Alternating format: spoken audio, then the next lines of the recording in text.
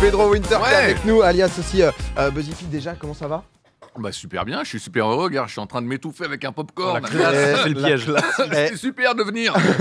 Ici, ici c'est habituel. Euh, fondateur et big boss euh, du, euh, du label, euh, du coup, Headbanger Records. Euh, déjà, ouais, merci beaucoup parce que c'est vrai que ça, ça fait trop plaisir. J'ai vu que les gens étaient hyper contents. On parlait un peu musique euh, juste avant le rewind. Alors vous parlez. Putain, je vais vraiment étouffer pour de vrai. Au début, fait une blague. C'était une blague pourrie. Euh, vous parliez de Yel, Je t'aime encore, morceau euh, Bah fabuleux quoi. Évidemment. Ah oui. On est d'accord.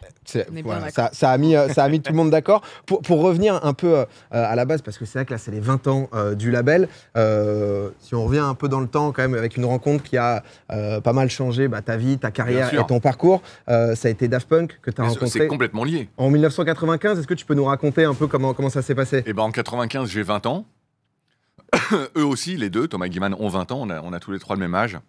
La musique électronique en France commence un peu à popper, mais c'est pas euh, ce qu'on connaît aujourd'hui. Et- Attendez, euh, c'est- Le popcorn est agressif ici. hein. Ça, ça m'a fait ça pendant 30 minutes sur une fin d'émission. Je... Bah, bah, bienvenue parmi nous. j'ai 15 minutes. tu vas voir, tu vas, De partager- tu vas passer un bon moment ici. Non, non, mais bon, euh, bref, euh, on est dans les années 90. Il y, a un, cou- il y a un courant qui est en train d'exploser, c'est la French Touch. En gros, c'est la musique électronique française qui s'exporte enfin, tu vois, enfin, euh, les gens euh, prennent les Français au sérieux. Bois un, bois un peu d'eau si tu veux. T'as ramené de l'eau ou pas? Prends En ton temps, temps, c'est vrai. le pire piège, hein, ce pauvre. C'est le- Vraiment. Je l'ai vu, je me suis dit, n'y va pas, ne le bouffe pas. Et tu l'as dit en plus, hein. Tu On m'a dit non merci. Oui, c'est vrai. Eh, ouais. Pedro il était devant le rewind, il était en mode maintenant, mais c'est en France, c'est à Bercy, ça c'est ouf, etc. Boum, petit popcorn. Eh, De toute façon, pas de stress ici, on a le temps, on est là pour, euh, on est là pour papoter, pour Ça discuter. Euh, tu nous disais du coup euh, French Touch, émergence quand même, euh, le début un peu de la musique électronique qui commence à, à Exact- exploser. Exactement. Et puis après, c'est une, c'est une- une histoire qui s'emballe avec un deuxième album, euh, Des tubes, One More Time. Et de fil en aiguille, le groupe explose un peu les, les- les compteurs. Nous, on grandit avec. On inspire des plus jeunes. Et après, effectivement, euh, Mais pour, pour revenir, c'est-à-dire que toi à l'époque, t'es DJ. Ouais. Et tu te retrouves donc à les manager, les Daft Punk. Comment, comment ça s'est passé déjà ce, ce côté où, bah, où toi j'imagine tu mixes en boîte, tu, tu les rencontres euh, en boîte, ça se passe comment? Je vais mourir. Non, non, Oh, non, non, Non, non. en vrai, a- Non, non, ça c'est interdit. hein. je revois le moment du popcorn. Ah ouais, le, le moment fatal. À this moment. Et là, j'ai- et attendez, j'ai une larme qui arrive. Ah, mais je vois les yeux. Oh là là, j'ai vécu ça tellement. Attends, je reprends de l'eau. Oui, je bah de oui, l'eau. non, Ah, non, mais attends, on peut te ramener autant de autant d'eau que tu veux pas en live. ne meurs pas, honnêtement, tout va bien. Euh, sinon, en, en vrai, c'est vrai qu'on n'a pas encore entendu un peu. Pour les gens qui connaissent pas Headbanger, qu'est-ce que ça peut être? On a quelques extraits quand même. Ah, Ah bah oui. évidemment. Ça va Que des, que, que des- Que de passe des clips, des là. classiques. Ah là. Ah bah là.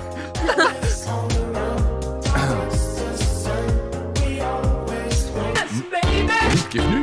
Ouais. Exactement. Donc, ouais, Son de, de Mid, euh, qui, euh, bah, il était là. Il y a Ava dans, dans- dans le chat aussi. Est-ce que ça va mieux, Pedro? Tu reprends un peu tes esprits. On va voir. Tu sais, moi, je suis une, je suis une machine. hein, je suis, euh, on va voir. J'ai dormi trois heures. euh, tu Nickel. eh, on, va en parler parce que c'est vrai que t'as as, une vie. Hier, tu étais avec euh, The Weeknd, euh, avec Travis Scott, etc. C'est vrai que on sent, on sent qu'il se passe des choses. Mais du coup, juste pour revenir, pardon, tu te retrouves donc à manager donc les Daft Punk. Daft Punk, exactement. euh, et j'ai fait ça pendant euh, plus de, de 10 ans, 12 ans, un truc comme ça. Je, je les ai accompagnés sur les trois premiers albums. Ça a été euh, assez, assez magique. Parce que maintenant, avec le recul, on se rend compte quand même de, le- de- de l'importance de, de ce groupe. Mais à la base, euh, c'est juste deux mecs, euh, tu vois, euh, passionnés, qui aiment faire de la musique, mais qui savent pas non plus qu'ils sont en train de- d'écrire une page de l'histoire de la musique électronique mondiale, quoi. Et, mais à l'époque, c'est-à-dire comment ça se passe dans le sens où quand tu es manager, c'est-à-dire c'est quoi? Est-ce que tu les conseilles euh, sur leur choix? C'est plus, est-ce que tu vas essayer de leur mettre un cocon, quoi? Ouais, c'est plus ça. Moi, j'ai été plus un espèce de tampon entre eux. Vous- le savez, ils se cachent, ils se montrent pas. Ils ont, ils ont des casques de robots. Ils sont assez euh, euh, éloignés du star system. En tout cas, c'est pas quelque chose qui, recherche la, la, la célébrité. Donc moi, j'étais un peu le tampon entre la maison de disques, euh, le groupe et un peu, et un peu, et un peu tout le monde. Et bon, alors Daft Punk, j'avais un job assez facile. Je disais non à tout. Euh, tu vois, tout le monde voulait collaborer avec eux, tout le monde voulait faire des choses, et eux, c'est simple, ils, ils- ils aimaient rester dans leur coin, faire leur truc, et ça a payé, puisque finalement, ils ont attendu toutes ces années pour au final faire des trucs avec Pharrell et tout ça, et ça a payé, puisqu'en 2013, Get Lucky a quand même pété tous les compteurs, Ouais. et l'album Random Access Memory, 5 Grammy, et, euh, quoi, vous connaissez les Mais chiffres. hein. Oui. à ce moment-là, toi, t'es t'es plus manager des DAF parce que c'est genre 2008. Non, non, moi je suis parti au moment où ça a explosé, tu vois. Oui, mais c'est en vrai, en vrai La c'est rampe ça, de ouais. lancement. Voilà. En vrai, en vrai, avant, tu n'avais aucune expérience de management avant de faire eux. Et tu te retrouves manager de genre la légende française. Toi, en tant que tout nouveau manager, premier taf de manager, comment tu suis le rythme d'un groupe comme ça, quoi? Bah, t'apprends, c'est une, bonne question. C'est qu'en fait, moi, j'ai 20 ans, une- à à 20 ans, tu es une éponge. Donc, tu- toi, Ouais. tu, tu absorbes un peu tout. J'avais la chance aussi de collaborer avec, euh, avec euh, une maison de disques qui était Virgin à l'époque. Mm. Et bon, j'avais des adultes autour de toi. J'avais j'avais 20 ans, j'étais pas encore un adulte, mais tu vois, au moins, tu apprends des, des- des gens. Et après, le, le- ce qui était intéressant avec euh, l'hi- l'histoire de Daft Punk, c'était aussi euh, l'idée un peu de renverser un peu le système et de faire les choses un peu différemment. Donc, on, on écrivait un peu nous-mêmes le système dans lequel on Ouais. avait envie d'évoluer, tu vois. Donc, euh, donc non, non, c'était des années, j'ai pris ça de, tu vois, ces 12 années euh, de... c'est pour Ouais. ça que c'est marrant quand tu fais le lien avec Ed Banger. Ed Banger n'existerait pas si j'avais pas eu ce Mm. premier chapitre avec, avec Daft Punk. Parce que justement, dans, dans la création euh, d'Headbanger, ça a été euh, 2003. Ouais. Euh, donc, tu es, chez, enfin, es avec euh, Daft jusqu'à 2008. En même temps, tu, euh, tu continues aussi à mixer. Qu'est-ce qui te fait euh, créer ce label? C'est cette envie d'aller plus loin quand tu, euh, quand tu manages euh, des artistes? Ouais, c'est ça. Et après, c'est aussi, tu sais, euh, les, les- les groupes, il y a des moments où ils sont en tournée, ils font des albums, et il y a des moments où ils font un peu rien. Et donc, pendant cette, euh, ce, ce moment où le, les Daft, eux, étaient en studio en train de faire de la musique, moi, j'avais plus de temps pour moi, justement, pour euh, créer. Et à ce moment-là, il y a Justice qui est arrivé, Breakboat, euh, Sébastien, qui m'a pris beaucoup, de plus en plus de temps. Et à un moment il a fallu faire un, un choix, euh, comme quand tu as 18 ans et tu regardes tes parents et tu dis, bon, bah, c'est peut-être le moment euh, de, qui- de quitter le foyer familial. Et, et c'est là où j'ai décidé, tu vois, avec le groupe, de, de les laisser continuer à faire. justement, ils étaient en train de préparer, c'était les prémices de Random Access Memory. Après, ça a mis 5 ans à se, faire. Et moi, ça m'a permis de, de me consacrer à Headbanger.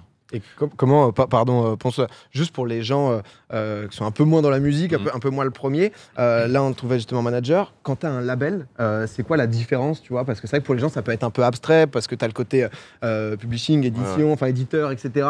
Le label en soi. Label, c'est la maison disque. Donc, tu, pour le coup, tu choisis la, mu- la musique que tu as envie de défendre, que tu as envie de développer, et tu accompagnes l'artiste à faire sa promo, à faire son, son- ses clips, sa tournée. Donc, moi, avec ce bagage que j'avais de Daft Punk et cette vision un peu euh, globale du, métier, bah, j'avais envie de faire ça pour des, jeunes. Et euh, donc, c'est comme ça, je te dis, j'ai rencontré euh, Justice dans leur chambre encore, ils étaient encore chez leurs parents. euh, et j'ai mis à, leur service tout ce que j'avais appris avant. Quoi. Voilà, la, la question que je me pose, c'est du coup, euh, euh, les Daft Punk ont jamais été chez Headbanger. Ils étaient avec, euh, il y a eu Virgin, Amy, il y a eu plein de. Ah ouais. ils sont passés par- Est-ce que ça a été un souhait, une discussion, quelque chose, un moment, euh, euh, peut-être Daft Punk travailler avec Headbanger Putain, ça serait pas mal. Bon, là, c'est trop mais tard. C'est trop tard Ah, maintenant. merde C'est trop tard. Mais euh, non, mais après, non, non. Après, on a fait des choses. euh, nos chemins se sont croisés. Euh, Thomas de Daft Punk a fait un remix de DJ Mehdi euh, qui, a- Oui. qui a, qui a- qui a marqué un peu l'histoire du label euh, à l'époque. Mais euh, non, non, c'était, finalement ces deux histoires, tu sais, parallèles, mais en même temps tellement euh, imprégnées l'une de l'autre. C'est-à-dire que, tu vois, moi, moi, l'héri- l'héritage de cette euh, aventure Daft Punk, il est, il est, il est éternel pour, pour, pour accompagner euh, l'aventure Headbanger. Oui, bien sûr. Mais c'est vrai que quand on se dit que Daft Punk, ils étaient plutôt dans l'idée un peu, un peu anti-star, un Mm. peu anti-célébrité, mais à côté, ils étaient quand même dans des gigantesques euh, maisons de disques, etc. Il n'y a, jamais eu cette envie, Ouais, justement. mais ça, alors, tu, en fait, c'est comme ça que tu changes un peu le système. Tu Ouais, pénètres sûr, aussi le, dans l'intérieur. Ouais, à l'intérieur. Sinon, euh, si tu restes en, en- en dehors du système, tu, tu, tu, tu changeras rien. Donc là, l'idée, c'était d'aller signer, ça, on appelle ça des major compagnies. Ouais. Et, euh, et l'idée, c'était justement de garder l'esprit indépendant, mais dans le cœur du poulet. Ouais, bien euh, sûr, tu ouais. vois, Aller dans le vif du truc. Chez Columbia et compagnie. Et, euh, et c'est comme ça qu'après, euh, tu vois, d'autres artistes euh, ont décidé eux aussi euh, de devenir leurs propres producteurs. euh, tu vois, David Guetta et compagnie, euh, tu vois, eux, ils sont comme Daft Punk, euh, leurs propres producteurs, et ils travaillent avec des grosses maisons de disques pour diffuser la musique euh, et faire grossir les projets, quoi. Ok. Là, là, ça va être les, euh, les 20 ans que Ouais. vous fêtez déjà. Bon anniversaire. Merci. Ouais, euh, euh, vous sortez un, un best-of. Euh, j'ai, euh, Ouais, j'ai- notre premier best-of. Comme quoi au bout de, Ouais, au bout de 20 ans, tu vois, au bout de 20 ans.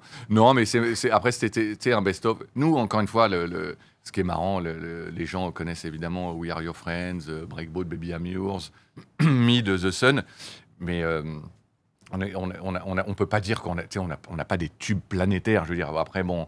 euh, ça, ça a marqué euh, son, son- son temps, mais donc un best-of, c'est un peu, c'est un peu casse-gueule. Un best-of, tu te dis, bon, c'est que les, Ouais. C'est les Energy Hits Only, quoi, tu vois. Mm. Et, euh, et donc, nous, de sortir ce, ce- ce best-of, c'est pour ça qu'on a mis tout ce temps. Euh, même si c'est des morceaux, là, tu vois, DJ Mehdi, euh, Signia Tune, c'est des morceaux qui nous, qui nous, qui nous tiennent à cœur. Euh, moi, j'aime bien garder les pieds sur terre aussi. Tu vois, tout à l'heure, tu parlais des chiffres et, et- et compagnie. Voilà, c'est les, les, les- les hits, c'est assez personnel aussi, tu vois. Euh, euh, mais donc voilà, bah, on a attendu 20, 20 piges quand même pour faire Ouais, ça. bah. en vrai, euh, en vrai, vous êtes partout. Enfin, euh, parce que là, on parle d'un best-of, mais moi, je me souviens que toutes mes années lycée, même encore aujourd'hui, euh, enfin, Headbanger, il y a euh, Cassius, il y a Justice, il y a euh, tout le monde. Parawan aussi, je crois. Euh, ouais, a c'est- monstrueux. Et même toi, genre, euh, en fait, je t'ai vu un million de fois et demi à chaque fois que je voyais un festival ou une scène Chute Bordeaux, euh, à Darwin Ah bah ouais, notamment. ah bah ouais, Darwin, à chaque ouais. fois, je vois Buzzy P, je fais, mais ce mec est absolument partout. En plus, j'apprends que tu Headbanger.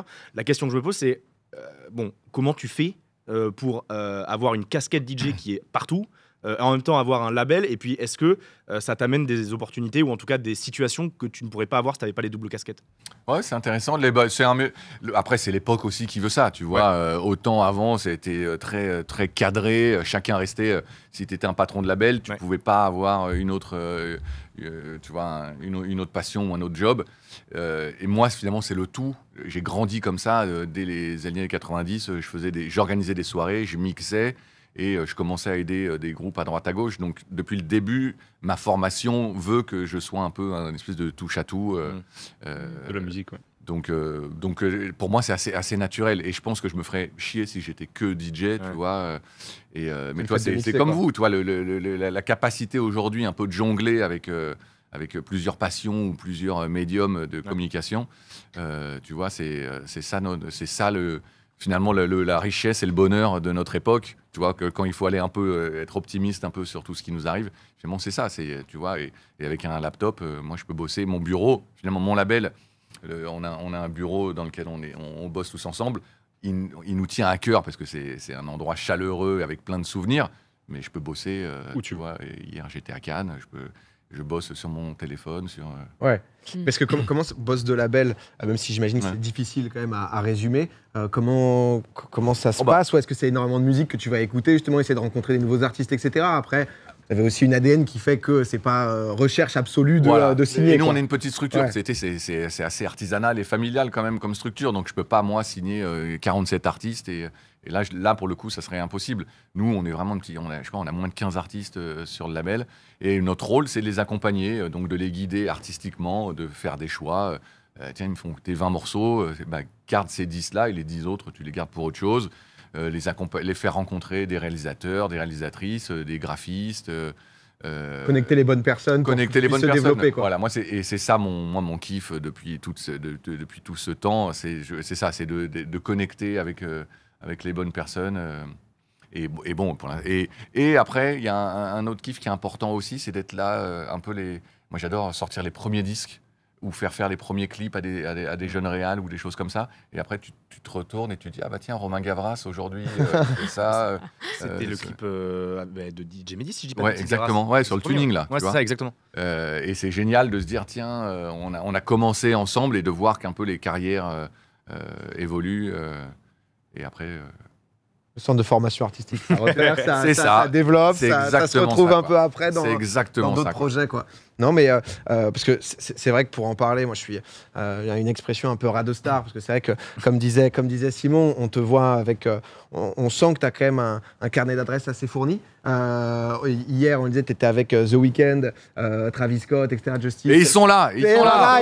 Allez, c'était ça la surprise. Non, mais est-ce que, parce que j'avais pu t'entendre sur beaucoup d'anecdotes avec des Pharrell Williams en studio, etc., ce côté un peu, euh, maintenant tu dois avoir plus l'habitude, mais ce côté aussi légende de la musique internationale, etc., ça s'est fait, on va dire, naturellement, cette, euh, cette rencontre, parce que j'imagine euh, le- la France a l'air d'être très respectée désormais, etc., mais au début, il a quand même fallu faire un peu ses preuves. Quand tu dis, j'imagine, Timbaland, que tu as l'air d'énormément apprécier, en mode, ah, pas si ouf là, peut-être faut, faut retravailler. T'as réussi euh, d'entrée de jeu à garder ton naturel et ton franc-parler, quoi? Ouais, ouais, mais après, c'est, ça, c'est chaque- chacun un peu le. Toi, tu sa personnalité, ta capacité à t'adapter et tout ça. Moi, effectivement, je, je pense que je suis resté toujours un peu le même, euh, tu vois, avec ce, ce rapport de respect quand même face à ces mecs-là que tu rencontres. euh, effectivement, quand tu rencontres Pharrell ou Timbaland, tu te dis, OK, euh, c'est, les héros modernes de la, de la Ouais. pop culture. Donc, il y a, il y, a ce, petit- il y a ce petit recul à avoir. Et en même temps, il faut aussi briser la glace parce que ces mecs-là, ils sont saoulés d'avoir que autour d'eux des yes people ou des gens qui se mettent à quatre pattes. Et, euh, et finalement, donc faut, c'est une espèce de, C'est ta valeur de- aussi, quoi. de balance. et finalement, c'est ça que moi j'ai réussi en tout cas à, euh, à, avoir, à instaurer avec, euh, avec certains d'entre eux et d'avoir cette relation après qui, dépa- qui dépasse le boulot, qui devient amicale. en tout cas pour Pharrell, c'est comme ça que c'est au fil des années, puisque ça fait 22 ans maintenant.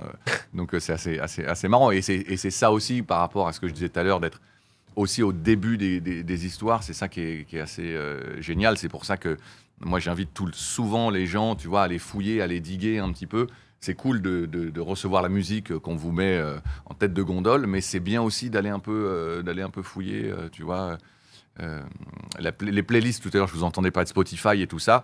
Tu as effectivement les têtes de gondole, les Ouais. sorties du moment, mais il y a aussi les sorties radar qui sont un peu plus euh, niche. J'imagine euh, ton historique euh, SoundCloud ultra euh, deep. euh, Non, mais c'est ça qui est intéressant, c'est d'aller Découvrir, un petit peu, d'aller découvrir quoi. Carrément. Je crois, pardon, si tu, tu voulais dire euh, quelque chose. Ah non, moi j'écoute euh, religieusement. euh, non, non. Non, et- est-ce Ah, que- c'est bon là, je, je revis là. Ah ouais, j'ai un peu paniqué les 3-4 Le gars, il est premières minutes là. là. C'est- il ressort tout juste. euh, il a pu reprendre une respiration. Non, est-ce que tu as un artiste où tu aimerais vraiment pouvoir bosser avec T'as pas encore pu, par exemple Ou alors, euh, justement, c'est en cours ou pas spécialement cette frustration? Mmh, non, alors j'ai pas- absolument pas de frustration parce qu'on a eu beaucoup de chance et tout ça, mais il y a tellement de euh, qui je qui j'aimerais là? Tu me poses une petite Ouais, c'est question. colle, là. euh, euh, je sais pas, moi, je, voilà, je sais pas avec qui but on Non, non, bah, écoute, parce que si- si- sinon, peut-être, euh, il y, il y avait un peu une liste de 5 sons, je sais pas si, si tu, Ah. si tu vas les, si tu vas les avoir, mais euh, des questions un peu pour toi, en mode un Ok. peu playlist, justement. Euh, si je te demande le son musique électronique le plus emblématique pour toi Que des questions de merde c'est Ah chaud. ouais, euh, Ah, le son emblématique. euh, euh, Mais wow, emblématique wow. de quoi Headbanger Euh, non, non, non, bah, De- euh, Ah, Kraftwerk, euh, It's more fun to compute. Alors là, je fais mon papy parce que là, c'est Ah ouais, c'est c'est- 1970. Ah bah mais, là, euh, mais bon, euh, obligatoire, c'est c'est- c'est- c'est les- c'est nos, nos héros allemands. euh, voilà, Kraftwerk. un- tu, tu parlais un peu du côté digué, etc. Un ou plusieurs artistes un peu où tu apprécies vraiment ce qu'ils font, où tu sens que les prochaines années, euh, ça risque euh, de, de faire mal. Euh, ah ouais, pas mal, pas mal. Euh, putain, alors là, pareil. euh, Qu'est-ce que je peux vous conseiller d'aller écouter pff, Qu'est-ce que j'allais vous dire Non, Vegin, si, Vegin. V-E-G-Y-N. Ouais. Jetez-vous sur Vegin, c'est un producteur anglais. Bon, il a, il a déjà un peu roulé sa bosse. Il soufflait dans l'oreille d'un certain Frank Ocean. Mais Ah oui. Vegin, non, non, mais Vegin est resté vraiment sous les radars. Et c'est un artiste brillant qui fait des albums avec 40 morceaux qui durent à chaque fois 1 minute 30. Ah oui. Et euh, voilà, donc jetez-vous sur Vegin. Et Vegan. il y a un nouvel album qui arrive bientôt en plus. Donc, euh, Ça, ça note peut-être euh, euh, dernière sortie du label ou quelque chose qui. euh, qui Dernière sortie du label, bien sûr. Dernière signature, c'est euh, un, un producteur suisse qui s'appelle Varnish la piscine, euh, qu'on a signé. euh, c'est un, c'est un producteur, c'est un espèce de. Pour vous la faire courte, euh, voilà, il est fan de Tyler the Creator et, de- Pharrell et il le fait à sa sauce. Il produit pour tout le rap euh, suisse, Makala, Slimka, euh, Dime et compagnie. Et donc c'était l'homme de l'ombre. Et là, depuis quelques temps, il a envie de passer euh, devant et, de- et de, de mettre sa casquette d'artiste. Donc Varnish la piscine, on l'a signé, on a sorti un maxi, euh, ce lac a du succès il y a quelques semaines. Et, ça fait du bien au label parce que même si dans l'inconscient collectif, euh, Headbanger, c'est de la musique électronique, il y a toujours eu un peu de, de, de, de, de- rap. euh, De hip-hop, oui. euh, et donc là, de sortir vraiment un disque de, de, de rap, ça fait du bien aussi au label. Ça nous ramène aussi un, un public différent. Donc euh, voilà, nouvelle signature. Je vois des, dans, dans le chat pas mal de, de, de gens un peu euh, euh, connaisseurs, hein, étoile euh, par Sur exemple, Varnish. qui, a- qui a- ouais, qui- Bah ouais. qui- qui est souvent là. Euh, Pompon, tu veux dire un truc? J'ai une question. euh, il s'est passé quand même évidemment le, le Covid hein, en 2020, 2021, etc. Ça a fait, euh, ça a fait quand même très très Mm. mal dans, dans les milieux artistiques euh, de représentation, notamment la musique. Et, euh, et aujourd'hui, euh, en général, les, les salles ont tendance à un peu moins se remplir, c'est plus compliqué, etc. Est-ce qu'un un label comme Headbanger a quand même ce genre de, de souci-là, d'avoir du mal à remplir les, les salles? Ouais, comme tout le monde. Alors, merci, mais c'est marrant que tu aies ce truc-là. Au contraire, moi, je crois qu'il y a une espèce de- d'envie, il y a eu un, un- un réveil euh, post-Covid, justement, les festivals euh, cartonnent, en tout cas, les, Le les- festival, oui. les festivals cartonnent. Il y a une- il y a une- il y a une- alors, il y a une vraie proposition, il y a une demande. On se posera la question un jour est-ce qu'il y a trop de festivals? Parce que c'est vrai que tu t'arraches un peu la tête aujourd'hui. euh, euh, Ouais. Où est-ce que tu mets tes 50 balles euh, Tu vois, il faut faire son, il faut faire son choix. Mais, euh, Mais il y a un truc où tu te rends compte que les gens ont envie d'aller vivre la musique en concert ou en soirée, ou tu vois. Donc, euh, donc non, nous, ça nous a mis un coup comme, comme, comme tout le monde, tu vois. Mais bon, on a, on a eu de la chance. C'était une période où on n'avait aucun artiste en tournée. C'est ceux qui, qui avaient prévu des tournées, pour eux, ça a été un peu chaud. Ouais, c'est chaud. Nous, tout le monde était en studio en train de faire de la musique. Donc, je t'avoue que Bon timing. Bon, Ouais. bon timing. C'est un peu des, euh, c'est un peu casse-gueule de le dire, mais bon, bon timing pour nous tous, euh, tu vois. Mais, euh, mais au contraire, il y a une, une- un réel, euh, Moi, je, je vois ce que tu veux dire. Oui, il y, a un- il y a un engouement, il y a une envie de, faire, de profiter et tout, clairement. Ouais. Mais j'ai l'impression quand même qu'il y a moins de, de prévente et plus d'instantané. Ah, alors ça, ah ouais, t'as raison. C'était ah ouais, plus- putain, je t'es parlais- un technicien. ouais. Non, mais euh, je vais te Ah poser bah, des questions. pour- non, non, mais t'as, alors t'as raison, c'est vrai qu'il y a, les gens achètent moins de tickets en C'est ça. avance, exactement. Mais c'est pour ça, n'oubliez pas d'acheter vos tickets pour Wheel of Green quand même, parce que c'est la semaine prochaine. Euh, il est bon. il et, est bon. euh, mais, euh, mais, mais après, oui, mais il y a quand même un. un- T'as raison, les gens se- sont un peu plus méfiants. Tu vois, il y a Ouais, peut-être un exact. truc, euh, il y a, peut-être un- une, une flip un peu. euh, Moins de planification. Bah, T'en Ouais. parles là, We Love Green. Euh, premier, premier week-end, c'est 2, 2, 3, 4 juin. Ouais, c'est ça. Ouais. C'est euh, semaine prochaine. Et tu es en charge d'une scène. toi, Exactement. on nouvelle a- scène. bon, c'est un truc qu'on fait ensemble avec, les, avec la famille de, de We Love. We Love, pour vous la faire courte, c'est un festival donc, qui, a lieu au, au Bois de Vincennes et qui est un, qui est un festival, festival évidemment tourné sur la, la, la- la- conscientiser, disons, les gens, euh, les jeunes euh, sur, euh, sur l'écologie, mais de façon, euh, encore une fois, euh, euh, plutôt artistique et musicale que, que professorale, tu vois. Et ils font ça super bien. Et, et cette année, ils m'ont proposé de bosser avec eux sur la programmation d'une scène qui s'appelle le Playground, et qui est une scène assez géniale, moi qui me tient à cœur parce qu'il y a du skateboard, donc il y a de la musique et du skate qui sont mes deux passions. donc euh, carrément, il y, a une- il y a une vraie rampe, il y a... C'est toi qui as proposé ou c'était Non, non, c'est eux, c'est eux, c'est eux, c'est Ah eux proposé. Moi, ils m'ont appelé en disant tiens, voilà, on va faire un truc autour du skate, de la musique. Est-ce que tu as envie d'échanger avec nous? Donc, on s'est échangé des noms euh, d'artistes et, euh, et donc il y a plein de plein de gens.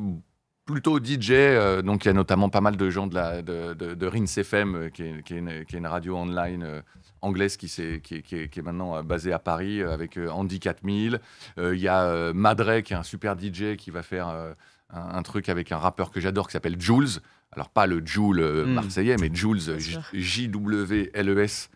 Euh, qui, est, euh, qui, est un, qui, est un, qui est un mec brillantissime. Il y a Huffy et Fids, euh, donc des artistes emblématiques de, de Headbanger qui se sont pas retrouvés ensemble depuis 10 ans, qui vont, qui vont faire quelque chose. Wow. Il y a Aïch Berna, il y a Yanis, un, rappeur, un jeune rappeur qu'on aime bien aussi. Bon, oui, il y a plein, plein d'autres artistes. En Giga scène, giga artiste et gros skateboard, enfin gros skatepark. quoi. Exactement, pendant, pendant tout le week-end. Et, su- et surtout, la scène DJ sera au milieu du public, donc il y aura un truc assez aussi euh, festif c'est le et kiffant, euh, tu vois, pour, pour, Stylé. pour danser. Quoi. Parce qu'on parle de, de Wheel of Green, euh, moi je- j'ai mes places, j'y j'y serai, donc euh, je serai peut-être en train de me péter une cheville dans le skatepark. On ne sait pas, c'est possible. Euh, mais t'es pas venu les mains vides, parce que pour, Eh pour le ouais. chat, t'as des, des places. euh, t'as des places. Exactement, on a des. On, alors, je sais pas combien, on en a trois, on en a plus. Trois, ouais. On a trois places. Il y a trois passes, trois jours. ouais. Génial, trois passes, trois jours. Euh, alors, qu'est-ce qu'il doit faire? Alors c'est très simple, parce que. Ça, c'est- hein. Ça, c'est Moi, une je suis avec les places, tu te démerdes avec Non mais euh, on, on a une ouais, c'est trois passes euh, avec un plus un, euh, donc en vrai euh, ça Ah, sympa. bien. Euh, vous avez juste à spammer merci Pedro euh, dans le chat. C'est cadeau. C'est euh, cadeau, c'est Pedro Winter qui, euh, qui régale. Euh, la modération va, va vous contacter, donc voilà si, euh, si jamais vous avez envie. euh, Et en Euh, plus, on, a été, hein, on, on les a teasés sur la Playground, qui est un peu la, la- la scène euh, euh, nouveau talent. On n'a pas balancé les gros noms Donc, il y a un- festival. Ah bah oui oui, ça Ah va. oui. Ah, il y avait- l'affiche, pardon. on avait- l'affiche avec dans, dans le chat, c'était en mode ouais la line-up. Oui, euh, c'est assez solide. Voilà, c'est ça. We Love Green généralement, mais ouais, je crois l'an passé c'était euh, mauvais timing. Là, il a beaucoup plu. euh, parce que Je crois que l'an passé il y a eu une inondation. Et un jour, un euh, jour, euh, c'était ouais. Il pleut en ce moment, c'est bon. Normalement, week-end, euh, week-end d'après, ça sera tout bon. Euh, non, moi, j'ai une petite question. C'est euh, j'ai un ami euh, qui, qui est en train de monter un label, euh, qui se retrouve peut-être être juste à ma gauche de moi. Mais ça, est-ce que tu aurais des conseils pour euh, pour les gens ouais, qui Ne fais pas ça Non, C'est non, c'est non. le but, c'est l'échec commercial direct. Non, non, toi. Non, mais c'est Ah ouais, c'est vrai, tu montes un label Bah, enfin, Bah, J'ai monté un label. Et là, mon- mais Il est, il est déjà euh, bien là, ouais. Ouais, ouais, ouais, ça, ça joue un peu. Mais c'est une esthétique, euh, c'est une esthétique très, très rock. Pour le moment en tout cas et, euh, et ouais, ouais ça se développe bien euh, c'est je suis je suis hyper bien entouré euh, ça se passe bien mais c'est pour ça que je te parlais des notamment des préventes Ok. parce que du coup on a bah, genre demain par exemple j'ai un concert au petit bain bah tu vois c'est pas full en prévente Ouais. mais ça risque d'être full avec les gens qui arrivent derrière chose où avant on était plutôt full Ouais, non, ça, c'est un tout le monde avait son plan avant. Là, maintenant, Ouais, ouais. c'est un peu un dernier ça, moment en mode ah bah vas-y, viens, on va là. euh, Ouais, exactement Il y a ça. Non, mais voilà, je voulais Mais juste du coup, moment gênant. des conseils, moi je suis 100% preneur. Après, clairement, on kiffe. Euh, c'est le principal. et c'est ce que j'ai. et Voilà, hein, je vais pas faire mon poète, mais c'est ça. hein. Ouais, ouais, c'est juste si tu kiffes ce que tu fais, Ah oui, on kiffe au moins tu te fais plaisir et après les gens te suivent ou pas, ça prend du temps. C'est un peu ça. Nous, ça a pris 20 ans, et, euh, mais au moins pendant, depuis 20 ans, on s'éclate. Tu vois, c'est c'est ça le, C'est le but. le seul truc intéressant. Ouais, ouais, clairement. seul truc important. je veux dire. Bah ouais, non mais clairement, mais écoute, euh, Pedro, merci beaucoup. Bah, Euh, merci à vous tous. A failli, euh, failli mourir, failli, failli mourir. Ah ouais, failli mourir direct. étouffé. Putain, on a cru C'est- qu'on te retrouverait plus. On tape. Purée. Bah écoute, Pedro, je te souhaite une très belle soirée. Merci beaucoup. On se revoit à Will of Green peut-être. À très vite. Bah, J'espère bien. Je serai là dans le chat. En tout cas, on, on va, on va sélectionner euh, des gens. Euh, bonne soirée à toi. Merci beaucoup. Ciao. Et euh, putain, ouais, le popcorn, on l'interdit maintenant. Désolé pour Ah oui, je sais- je pas- je sais pas ce qui m'a pris Ah pour oui, ce, mo- moment de. hein. Non mais moi ce moment de gêne. Mais, euh, mais tu sais que le popcorn, moi, ça m'est déjà arrivé. Rappelle-toi, il y a une émission où j'avais pas parlé les 20 dernières minutes, je pouvais pas parce que Ah que non, je parlais, ça commence On a des sales histoires. Il y a Poulpe qui était devenu tout puis quand ça rouge. commence, c'est impossible de s'en débarrasser. Ah, Ça m'est arrivé juste avant l'émission, moi, là, aujourd'hui. C'est hyper dangereux, votre truc, hein. Faudra leur Comme dire. quoi, comme quoi, c'est vrai que ça fait plaisir, euh, toujours hyper humble, c'est le, ponte de la, musique électronique et en toute détente.